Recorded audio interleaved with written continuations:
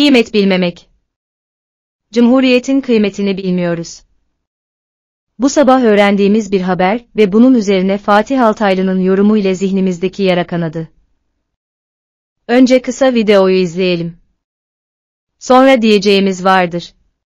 Suudi Arabistan Veliaht Prensi Selman. Orta Doğu'nun yeni Avrupa olacağını düşünüyorum. 5 yıl içinde Suudi Arabistan bambaşka bir ülke olacak demiş. Vallahi olabilir.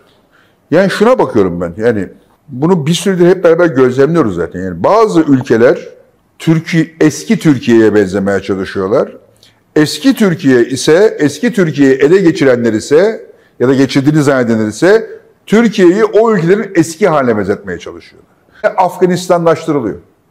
Bu da benim çok ağrıma gidiyor. Onlar bize öykünüyorlar. Biz model ülkeyken, biz İslam dünyasının batıya açılan kapısıyken ve örnek gösterirken, parmakla gösterirken biz bu parmakla gösterilen durumumuzu bir rezayete çevirmeye, bir baskı rejimine, bir siyasal İslam rejimine çevirmeye çalışırken onlar ne yapıyorlar? Yolları uzun.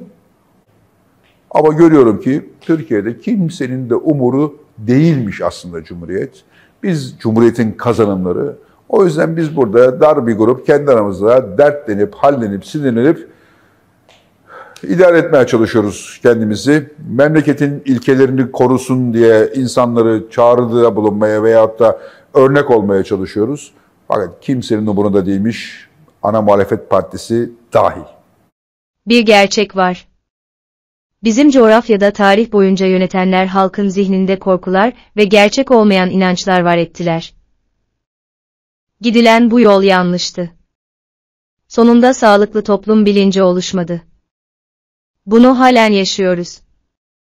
Bilinçsiz toplumlar, maddi ve manevi yararları üretemezdi. Çünkü kesintisiz doğru işleyen bir düzen kurulmadı. Bu durum, yaşadığımız şehirlerden, yalana dayalı ticaretten açıkça anlaşılıyor. Adaletsizlik ve anlamsızlık içeren karmaşa içinde yaşıyoruz. İnsanlar artık iyi ve güzel olanı bilmiyor ya da kötü ve çirkin olanları önemsemiyor. Çünkü günlük hayatı yalanlarla, yanlışlarla ve sahtekarlıklarla yaşamak alışkanlık olmuş. Çok yazık. Halbuki kutsalımızda da Allah sözlerinin, yani Kur'an'ın esası, insanın doğru ve dürüst olmasıdır. Geçmişten günümüze kadar gelişmiş batı toplumlarında yöneten siyasiler ve zihinleri yönlendiren entelektüeller etik tutumlarıyla genelde halka örnek insanlardır.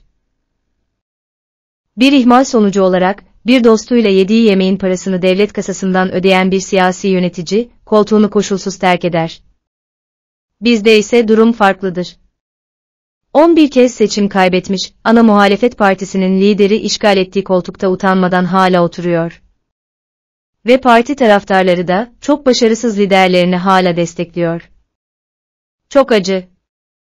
Özetle Batı'nın insanları meseleler üzerinde merak edip eleştirel düşündüler, hür iradeli davrandılar.